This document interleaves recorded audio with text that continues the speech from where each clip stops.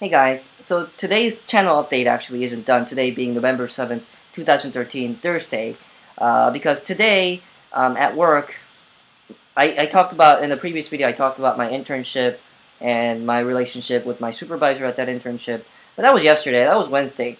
Today is Thursday. Um, today is the day that my, uh, the teacher that I support, the teacher that I assist, uh, the teacher that, you know, I tutor her kids, uh, her students. She, the moving day finally happened. Today was the move day. So last week, last Wednesday, uh, she was told by the school administration that she would have to be moving to a different classroom.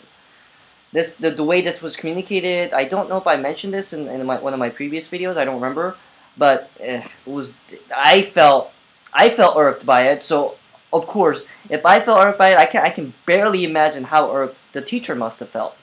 Uh, it, it just it's just a bad situation. Uh, anyway, today, uh, yesterday, apparently all the custodians moved all the stuff that we packed to the room that we are supposed to move in. Or not all the stuff, most of the stuff, most of the boxes, and the tables and chairs and whatnot. Some of the stuff was still left. So today, I didn't tutor anyone. I didn't, you know, uh, supple supplement anyone's education.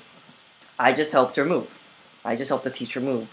Um, and not not that I, I didn't mind too much. It was just kind of just, but it, it's the situation just is. Ah, I can't it, like already in my mind being a teacher. It must be just tough, tough work, you know. But like having to deal with this and and just just being thrown into this situation like this is just just um like she she was saying a lot like this isn't fair how this is done and she was absolutely right that it wasn't fair. I did get to meet the new fifth grade teacher moving into what is what used to be our classroom, um, but it's going to be her classroom. We're moving to a classroom in the basement floor and the downstairs, and uh, it it really like the message that the teacher and I are getting is that this school doesn't care about its science program. That's what it seems to me. Or the, the school doesn't care about this particular teacher anymore. Like the way she's being treated with this move.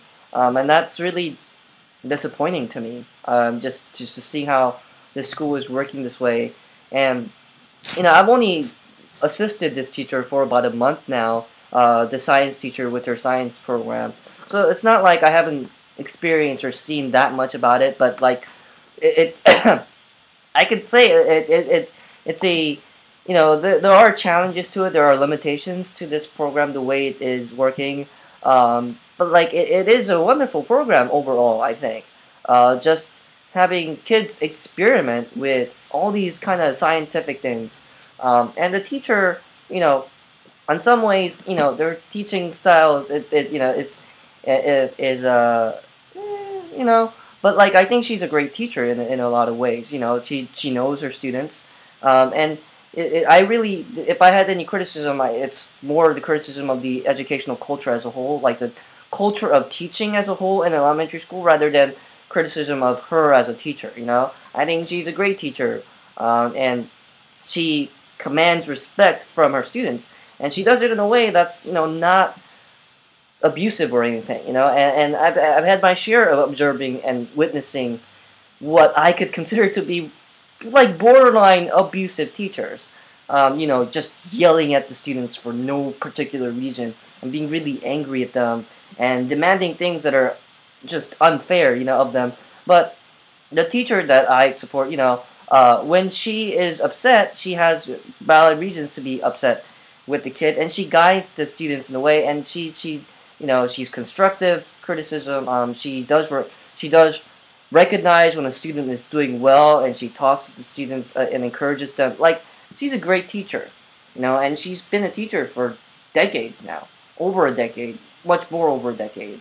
Um, the new teacher coming in to fill, you know, to replace the classroom is also, she's been a teacher, she says, for 13 years, and she's now going to be teaching fifth grade.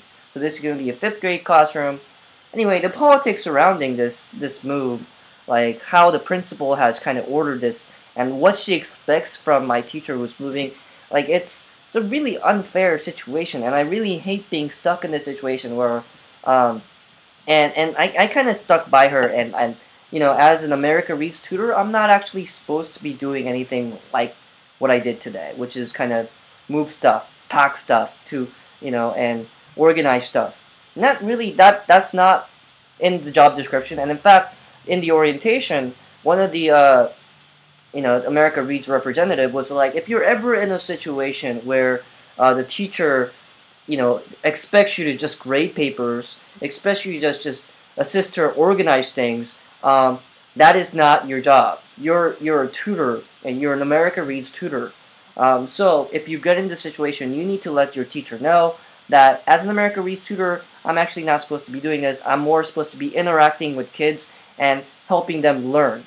That is my role. You know, you need uh, so if you can kind of uh, be mindful of that, that would be appreciated. That's what the representative said.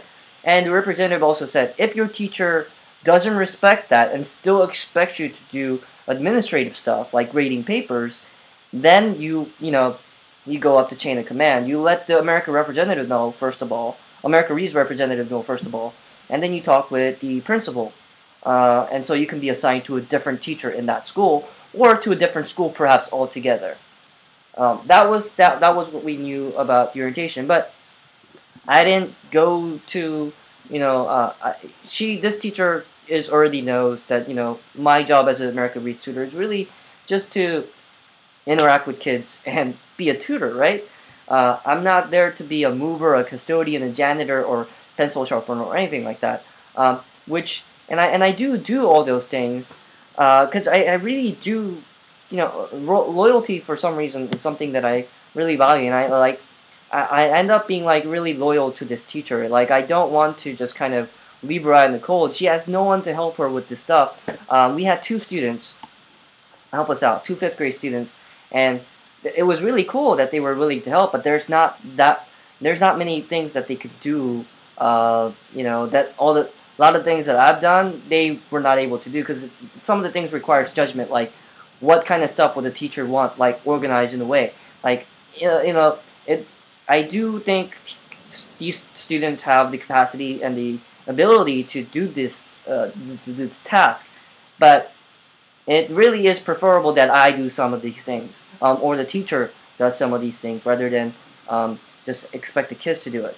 She really had kind of no one else. There was one uh, school aide that kind of helped in a little bit, but she was mostly helping a new teacher decorate this room or clearing out the kind of the, some of the closet, which is not the help we need today. Um, so like I, as an America Reads tutor, I definitely could have gone to, to a different science teacher that day. And the school only has two science teachers, mind you. This teacher that I'm working with and another science teacher. I could have been like, I'm an America Reads tutor. I'm really just supposed to be interacting with kids. I'm gonna go to this other teacher today and just help her. Um, and you can just move to the different classroom. In the interim, I will be tutoring. I could have done that, you know, um, and, and it's, it's, it's, that's because that fits my job description more than doing what I did today. But like that felt wrong. I didn't want to do that today. I just, you know, I think sticking by this teacher today was just like that. Well, that was the urgent thing to do. Like it's such a weird situation. I have no idea how. Um, today, what we accomplished today was we moved everything from our now old classroom to our new classroom. Everything's down there now.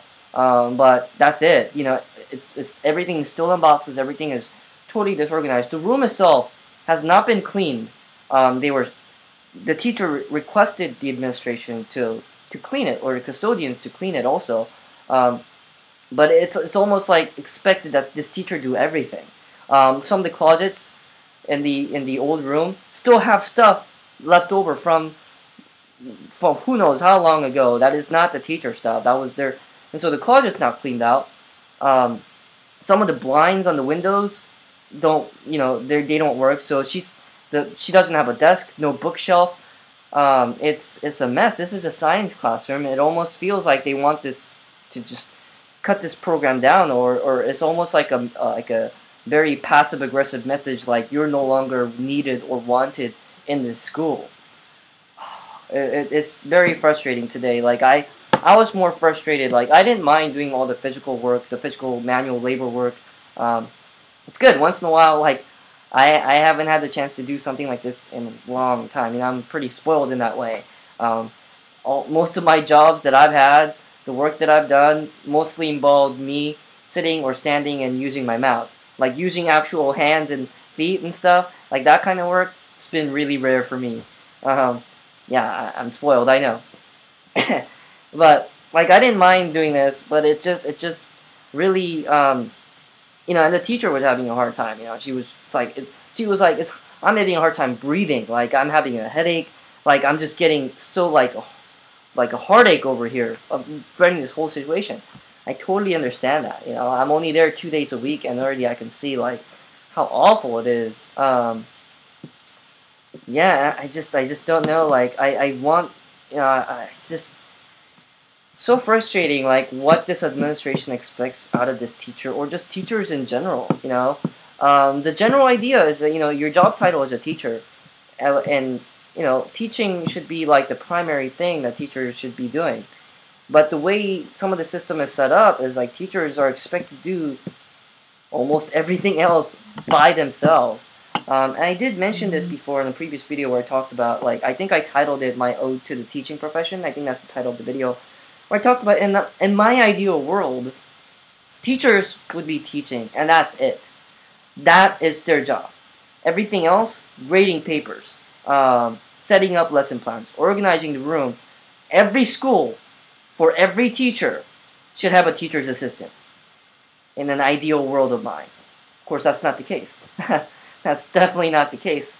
Uh, it's just, but like seeing this reality, it's really disheartening in a lot of ways. How um, how school systems are, and you know, uh, the teacher was kind of telling me like one advice she has for me is like don't get into teaching um, and like you know, it's it's not that I will be. Um, social work is kind of my career path at this point, and maybe somewhere down the road, I you know, um, I'm not even sure if school social work would, would be in, in the line of what I want to do um, with my life. But like, it's such it's so interesting. Like, don't be a teacher. You know, ah, it's just I don't know. I really hope this goes. So I'll give you an update on, on how this kind of program goes over time. But uh, right now, like I, both the teacher and I are kind of feeling really cynical and pessimistic about the science program at the school.